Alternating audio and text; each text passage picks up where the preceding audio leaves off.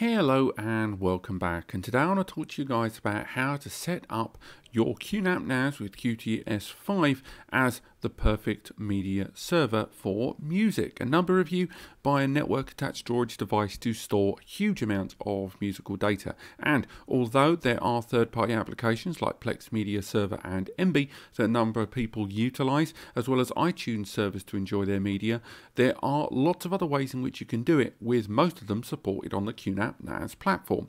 Now it's worth highlighting that right now I'm going to go through a bunch of ways in which to make not only the media on your NAS network accessible, but also craft the perfect audio server for yourself. But a lot of the subjects that I talked about today have already been discussed in the four parts prior to this video where I've talked about the perfect setups for your QNAP NAS. So Although I will mention them in this video, I might skip over them a little bit and I will highlight and recommend heartily that you do watch at the very least the photo tools and photo management video that came out just before this for your QNAP NAS as that contains a lot of the information on this. But to keep things nice and quick, do remember that in order to get your music files onto your NAS, that you can drag and drop it directly into the file station interface, as well as creating folders if you choose to, right up here. Again, I go into way more detail and a great deal more slowly in previous videos to allow you to create folders here for your music.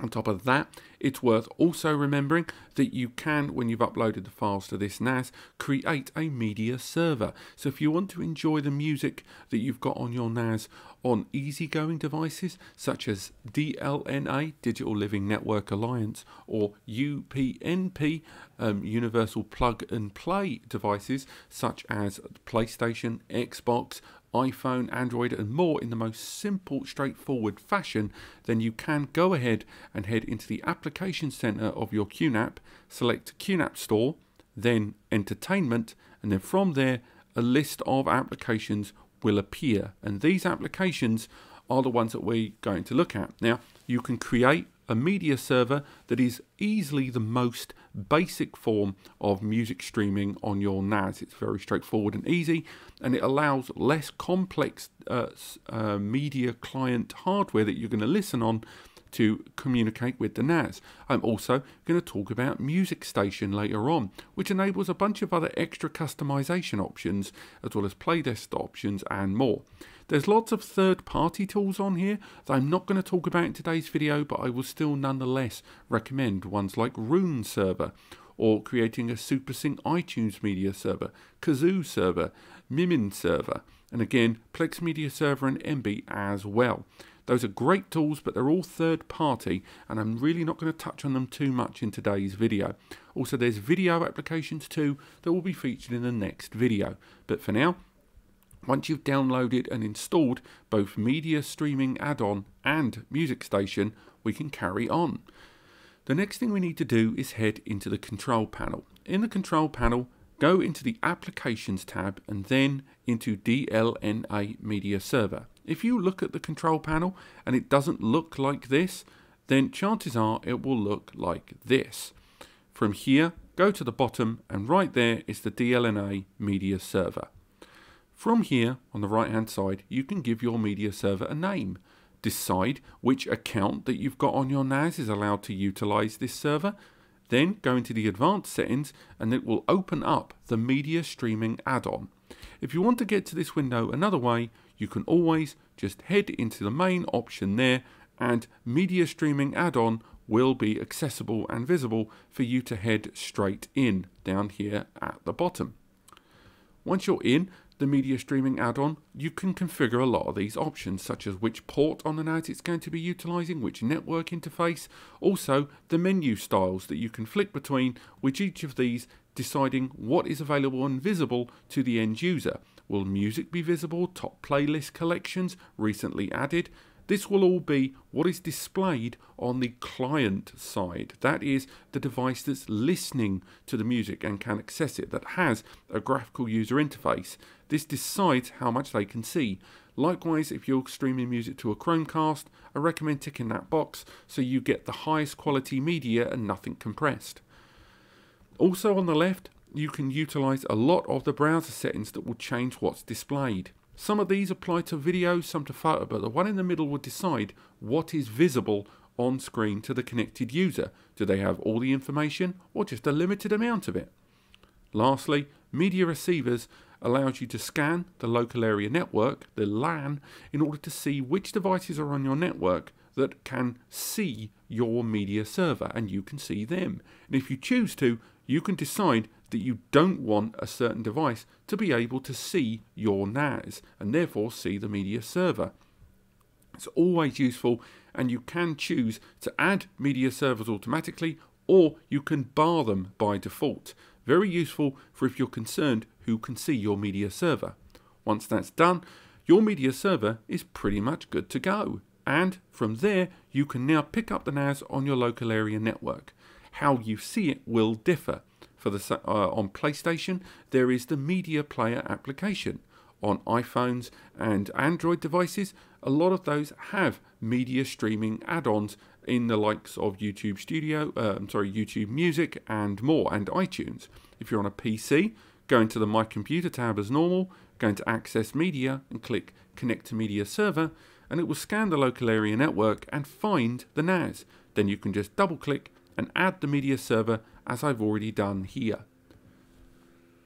Now, now you've got the visibility of your media server up there, the next thing you need to do is make sure the NAS can see your music. For that, you're going to need a tool called Multimedia Console. Again, it will either be pre-installed or available here on the list of applications on the QTS Essentials tab. Once you've got that installed, this allows you to tell the NAS where different file types live. So in the case of this, because you've installed the Music Station application and DLNA Media Server, select them on the Content Management bar. In Music Station, down here, click Edit. Then you've got the folder structure of your NAS that your account has access to, and then from there, find the folder which earlier you uploaded your music into. Find that folder and pop a tick next to that box. Make sure you put a tick next to the box that you put the music in, not just a folder that has the word music, as some applications will create default folders and you may not be connecting to the correct one. After that, click apply. If there's ones that you want to exclude, they can be listed here and you can repeat these steps to change the folders that the DLNA media server can access. Do bear in mind that the DLNA media server doesn't just limit you to music and can be used for all different file types.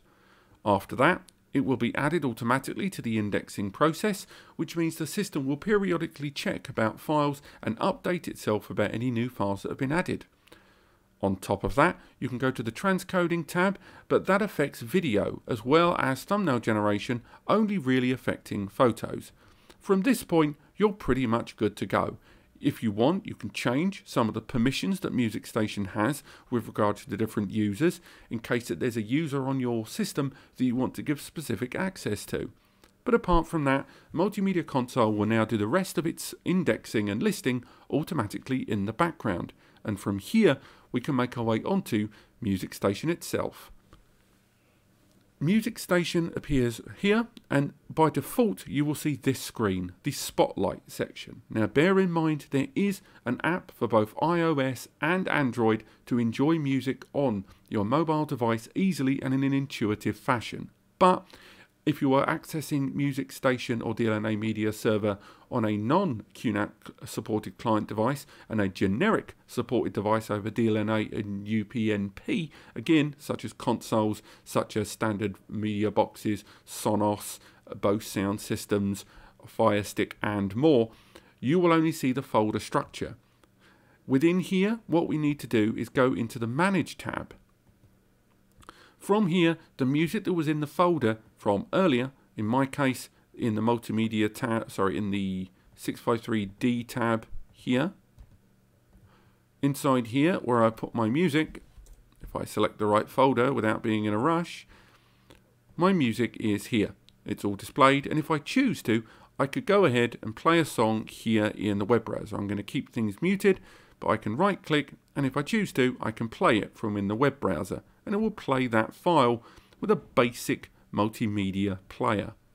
I can also, with that file, right click and stream to a connected network media device if I choose, which will then output that file accordingly. Or if I've connected a supported USB adapter to Bluetooth, it will appear there as well. However, if you're on Music Station, you have a bit more information readily available. Let's change the view to be shown to us here on screen as tabs. So again, we can change a lot of the user interface that we see here and how things are displayed. So for example, on the bottom of the screen here, we've got a list of just all of the songs listed one by one. If we choose to, we can show them as icons if they have album covers. If we've attached album covers, they'll appear there. Again, we can go into any song that we like here. Let's go inside this one. And again, we can double click and it will play the song at the bottom of the screen, now happening in real time.